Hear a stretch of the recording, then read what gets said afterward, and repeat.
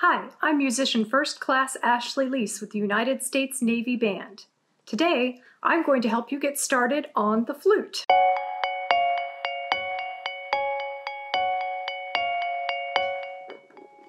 The flute has three parts.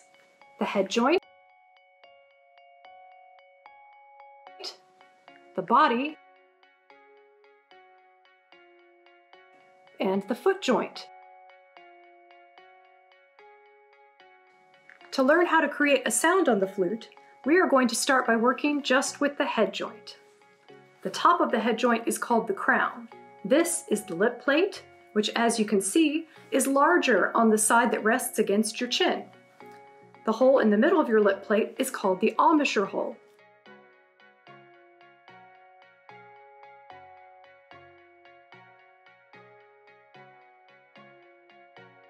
And sound is created on the flute when air passes over and into this hole. To practice making a sound on the head joint, hold your head joint so that the crown is on the left and the open end is on the right. This is where the rest of your flute will go when it is fully assembled. Next, bring the head joint up to your face and blow across this hole.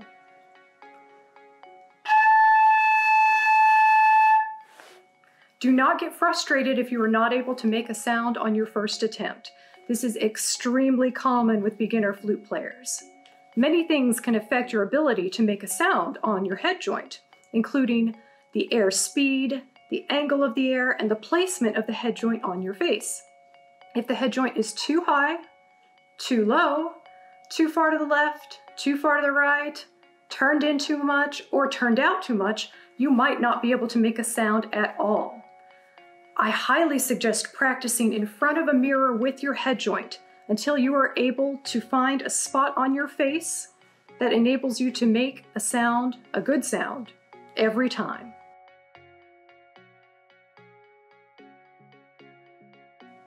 Once you are able to make a nice strong sound on your head joint every time, then we can assemble the flute.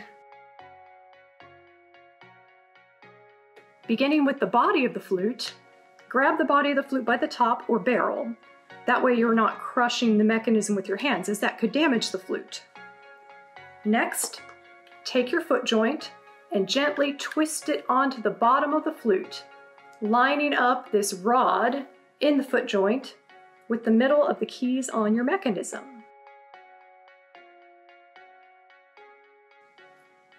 Finally, Take your head joint and gently twist it onto the top of the body of the flute. Do not push the head joint in all the way. It should be pulled out approximately a quarter of an inch. Line up the embouchure hole in your head joint with the approximate center of the keys on the body of the flute. This will enable a placement um, that will be most similar to the placement that you had when you were just working with the head joint by itself. Now I will show you how to hold the flute, starting with your left hand. The thumb of your left hand goes around the back of the flute and is in charge of these two keys.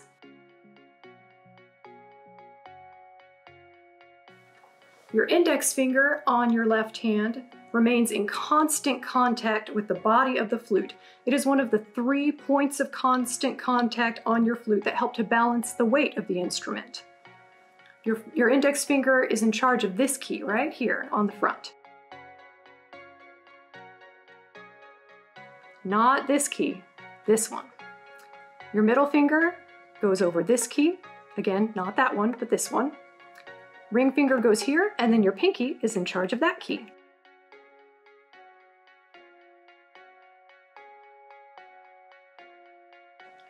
Your right hand should have a nice natural curve to it when it's on the body of your flute. And the thumb goes underneath, helping to support the weight of the instrument.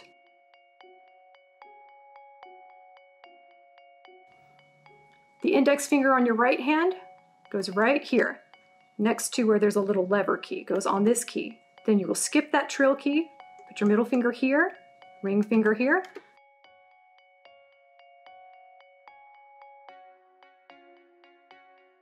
And then your pinky is in charge of all of the keys that are on the foot joint, although it is most typically resting just right here on that key. Finally, bring your flute up to your face so that you have the same placement on the head joint that you had when we were just working with it by itself. It's going to feel very different than just working on the head joint by itself. Now I want you to balance the flute on the three points of contact, which are the chin, the index finger of your left hand, and the thumb of your right hand. These three contact points should be able to balance the entire weight of the flute, enabling your fingers to be nice and light and free so that they can move quickly, which will be very important as you become more technically proficient on the instrument. Now I want us to try playing a note on the fully assembled flute. We'll start with a B natural. To finger B natural, your left hand thumb should be on this key.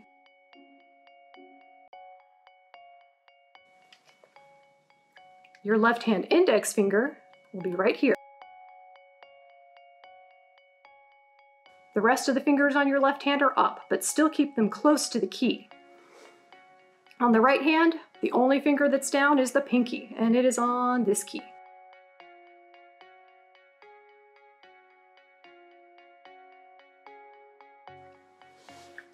Now bring the entire flute to your face.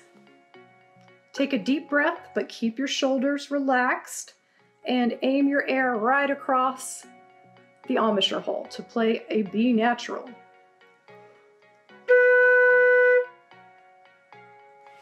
If you get tired of playing the B natural, you can easily go from B natural to A by simply adding the middle finger on your left hand to the fingering that you already have down for B natural.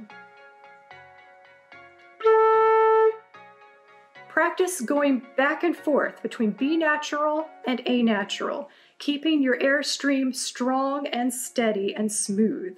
There is no need to stop the air just because your fingers are moving.